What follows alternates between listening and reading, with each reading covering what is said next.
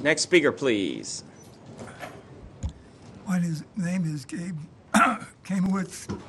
Um, I don't know one gentleman on, in front of us. May I ask who is seated, seated in the GRU seat tonight? Our Assistant General Manager, Bill Shepard, uh, interim, uh, Thank he's you. filling it, yes. I appreciate that. Um, I want to apprise the commission and anybody in the audience, first of all, that I have sent out an email and a 15-page uh, PDF form uh, documenting the accusations I've made in the past and will continue to make about corruption in the city, and the twist to it being the Florida bar's participation and that of the uh, people who have undermined the Public Records Act, uh, including the people who are supposed to protect it, the so-called First Amendment Foundation and the Brechner Center um, as well.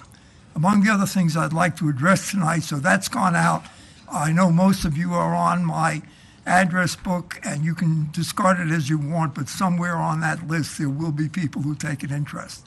The reason I asked for the GRU identification is I would have asked for Kathy Viehe to step down if she were present because of an email exchange that occurred between her and Mike Kurtz in 2013, in which Kurtz was asked to provide names and assistance of law firms that could protect GRU at a time when Mr. Hunzinger had just been dismissed. You will have those emails in the package that you have, and the concern that is expressed in those emails that, oh, this may be public, we better be careful. To add to that, I see before me apparently uh, three charter officers. As far as I know, there are six in the city of six for the city of Gainesville. The equal opportunity director we've had differences about before he is gone and there is no charter office. The city auditor turns out to be a man by the name of Carlos Holt, whose name has not appeared anywhere publicly. How many people were there during the interview process? I don't know. That's this new city auditor we're getting.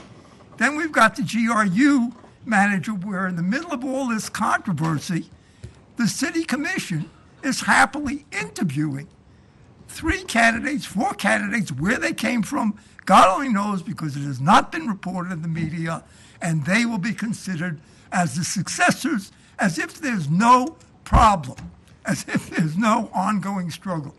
The basis of my um, 15 page document primarily is the double cross on outside counsel. This city commission, thanks to Todd Chase, requested that the city review outside counsel. He did so in June of 2013. The commission ratified that. In September of 2013, Mr. the mayor, Commissioner um, Wells, and the city attorney got together and threw that out the window. It's never going back. It's never appeared again. Instead, there was a report from the city attorney. That report is hilarious because what we now have is 12 identified out of state and out of city law firms that represent GRU to fight the public at a million dollars of expense at least since 2000, September of 2013. The list goes on. It's endless. I'm going to cut it short. yeah, move to I conclusion. recognize that I've overstepped my time. All I'm saying is I now think I have a format that I can keep the public informed and you informed.